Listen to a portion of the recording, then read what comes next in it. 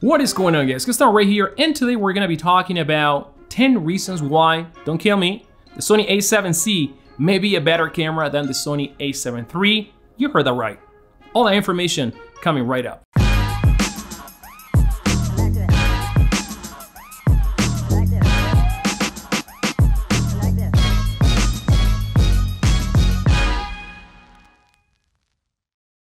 Welcome back to the channel guys, it's right here. And if you're new to this place, remember, I'm actually giving away one of these cameras, the Sony a7C.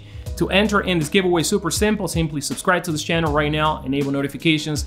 Go follow me on Instagram and Twitter at Gaston Shutters, and I'm gonna be making the announcement on December 24th or the 25th, so good luck to you. And by the way, this is a worldwide giveaway. All right guys, let's start talking about the 10 reasons why I consider the Sony a7C maybe a better camera when it comes to video, not photography, video. All right, we're gonna start with reason number one, and I have them all in my phone right here. So one of the things that I've been doing is every time I'm discovering more stuff about this camera, I'm actually entering here and I said, once I find 10 reasons why this camera is actually good, I'm gonna make a video about it. And today, that's the day. So the first one happens to be the most recent piece of information that I've learned about this camera.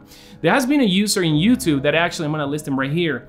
He actually made a video proving that this camera has gyro data. Now, it is very weird that Sony did not advertise this, but for those that don't know, gyro data, basically what it is, it records all the motion of the camera. So then you can actually use um, this information with a program called Sony Catalyst, I believe it is, to import the video and the video will use all that gyro data to stabilize the footage.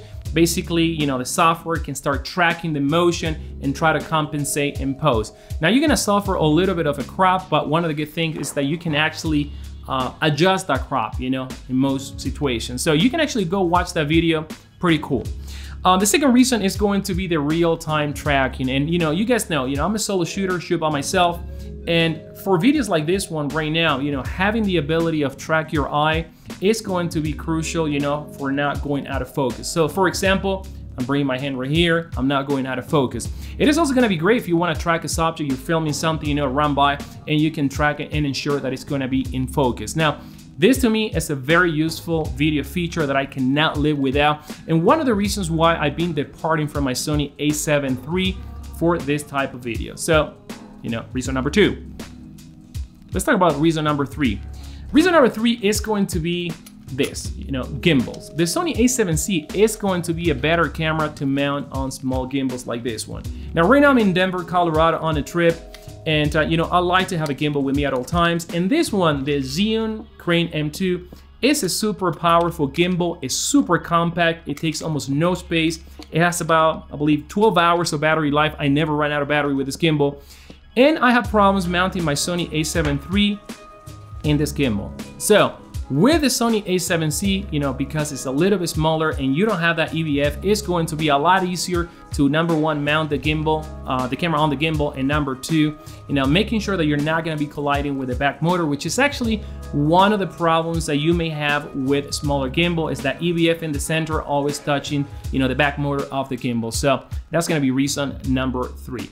All right, let's talk about the obvious one. Reason number four is going to be the flip out screen. And once again, if you're gonna be a solo shooter or if you're gonna be using the camera on a gimbal, you know, being able to have that side screen to frame your shots is going to be crucial, you know, especially when you don't want to hold a lot of gear and you don't want to plug an external monitor and, or spend money on an external monitor, you know, another battery that you have to worry about charge and the cable, you know, having the capability of being able to frame yourself for videos like this one or for gimbal work it's actually really, really helpful. Something that you cannot do right now with the Sony a7 III and you will have to actually put a monitor or some sort of mirror, you know, rig it up so you can actually frame your shot.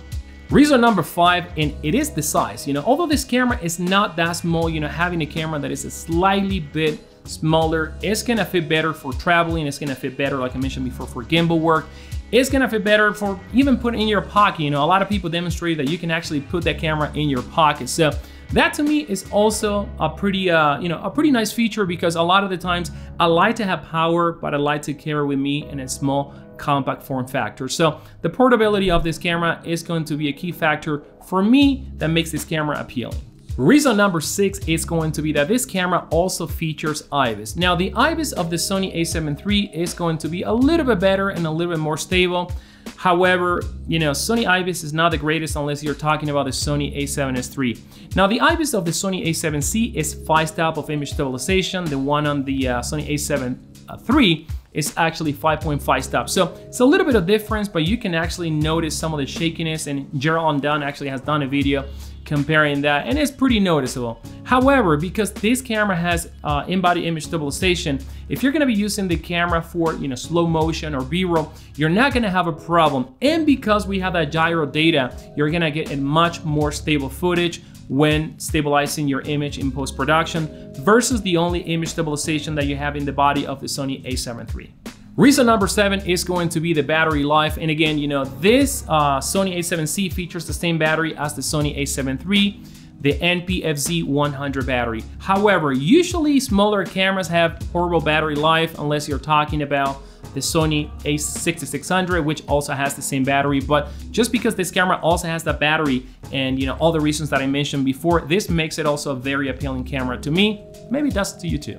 Reason number eight is going to be the price. Now, this camera is not the $1,000 that we thought it was going to be. This camera is $17.99, so it is actually $200 less than the Sony a7 III. And if you're gonna be using this camera only for video, well, you know, you're gonna be saving $200 and this camera, in my opinion, is gonna be a better option than the Sony a7 III.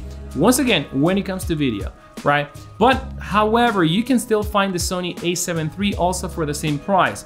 But because for the reasons that I mentioned before, you know, the tracking, uh, the real-time tracking, and all the other things that we've been mentioning here, in my opinion, the Sony a7C is a much better video camera than the Sony a7 III.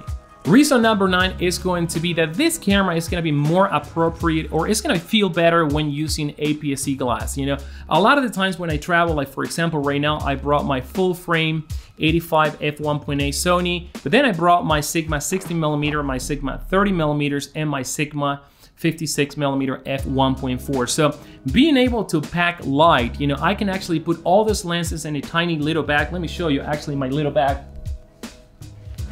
There you go. I can actually put everything in this little bag and, you know, I'll be happy like a pig swimming in shit or pig rubbing himself in shit or...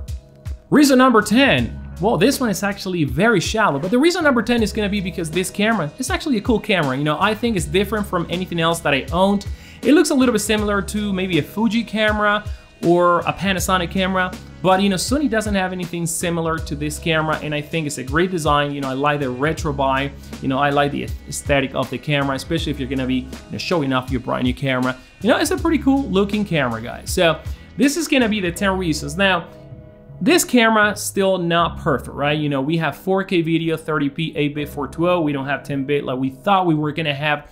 But for the price, you know, and all the newer features, I consider this camera a substantial upgrade over the Sony a7 III. And once again, only when it comes to video, because when it comes to photography, the Sony a7 III is gonna be a much better option. And probably when it comes to hybrid shooting, still the Sony a7 III is going to be a much better option unless you know you really care for the eye tracking, kind of like I do.